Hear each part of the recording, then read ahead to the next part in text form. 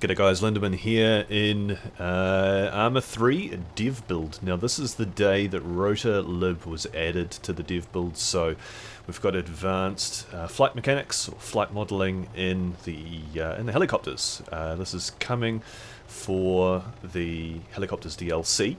Uh, which is really awesome. I was looking forward to this. I mean, I, I, got Take On Helicopters. I finished Take On Helicopters. Huge fan of it. And so I thought I'd jump in here and do a first impressions video. Uh, the short version is first impressions, oh my god, this is terrible, and I'm going to die. Uh, really sluggish. Doesn't respond at all to minor movements uh, of the cyclic. Um, really, it seems that the momentum of the aircraft is bouncing around all over the place so you can uh, try and react with small movements. The helicopter just doesn't follow what you're doing.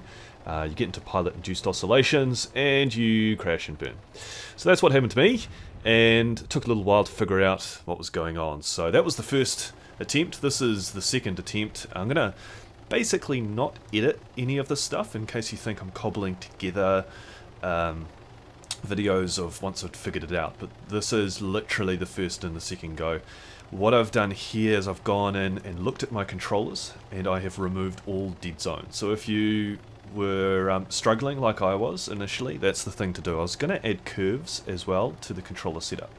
So my controller is a Thrustmaster Warthog. It's an expensive piece of kit. Dead Zone basically gets rid of any center play, any kind of twitching, um, which you would normally use with a really cheap joystick that maybe has a bit of anomaly that goes on around there, bouncing around.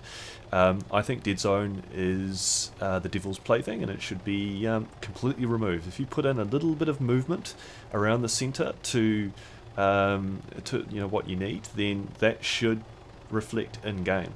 Um, so if you have problems with the sensitivity around the center play of your joystick, then add curves around that to make it more or less sensitive as you require. Generally speaking, you'd maybe add a little bit more sensitivity around the middle so you can get that finer action going. But Dead Zone is going to make your uh, your joystick completely unresponsive. So I've, I've done that and I'm, I'm sort of getting used to it now. I do fly in DCS, but I never fly in Arma 3. Um, pretty much never. I have done very short videos of um, just roaming around Altis, having a look around, but I, in multiplayer, um, in our tactical missions, I never give it a go.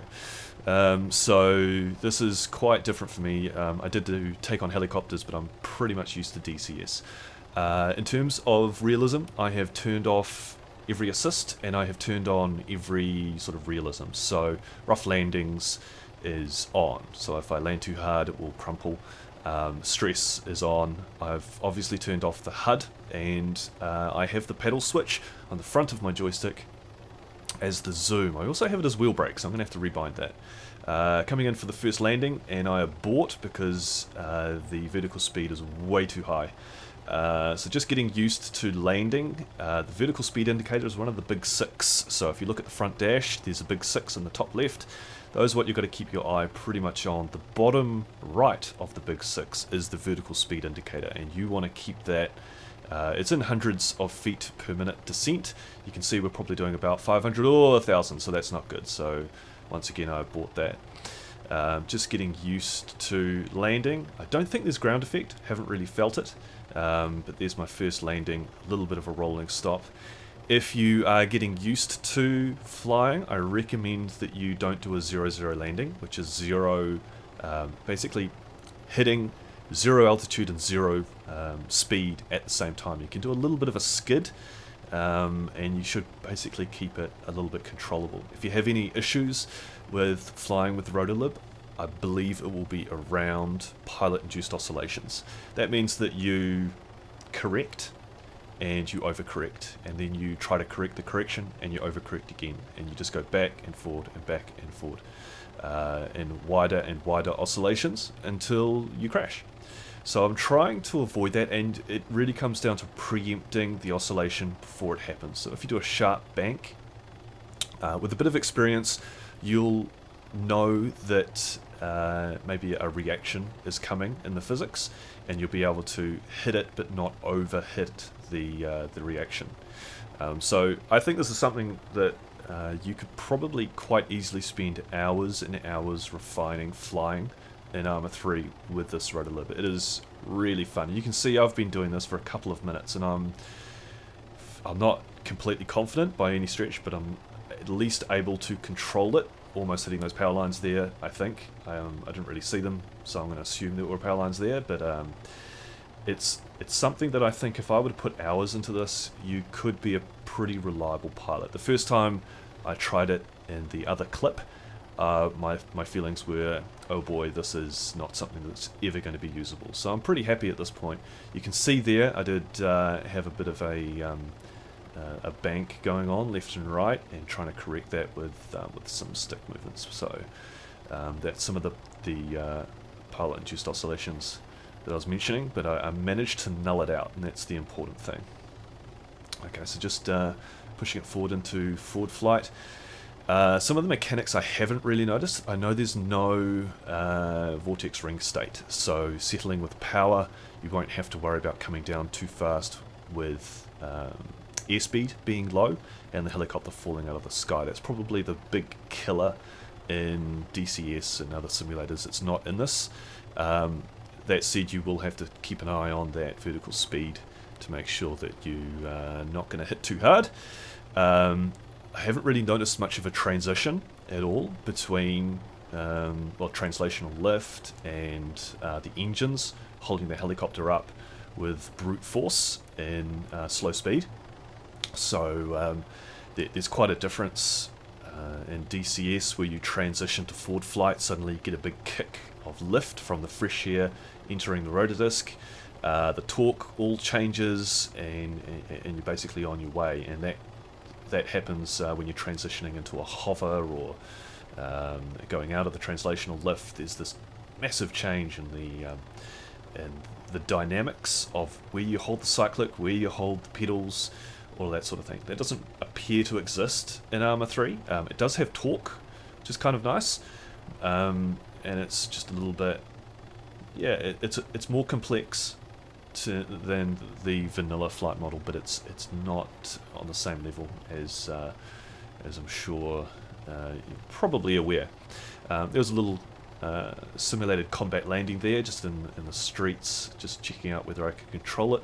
I don't think I'd be dropping off uh, infantry, you know, on rooftops or things like that anytime soon. But you can get in and out of tight spaces still with this helicopter. So uh, some of the other things that uh, I haven't noticed in this flight model, um, the, the trimmer doesn't seem to be particularly important um, versus DCS where you're trimming all the time, trim, trim, trim, trim, trim, with just to uh, save your arm from minor stick movements. I've got an extension on my Thrustmaster Warthog, so the stick is quite a bit longer, which makes it quite nice to sort of hold in a particular place. I also have the trimmer button, uh, or the pinky the pinky button set to trim. So whenever I hold the stick in a particular place, I press that, and that's the new center point. Uh, I'm pretty sure. Um, but I, have used it a couple of times, and um, I haven't really felt a great need to use it at all. So that's that's probably a little bit of a, a key difference with a, maybe a real helicopter where you may be using the force trim quite a bit. You don't really need to in this. Um, but you know your mileage may vary. Some people may need to um, to use the force trim feature quite often, depending on the stick that you have.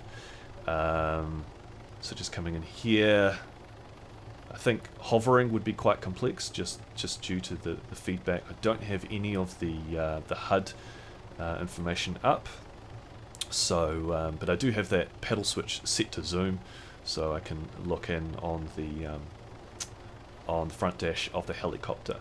That's assuming that it's always visible. If you're flying at night, uh, it may be that the um, they're, they're, just not visible, depending because you don't have uh, uh, complex lighting sort of that's configurable in the cockpit. So if you don't have night vision or there aren't lights backlighting those dials, you may have to turn on uh, the HUD feature.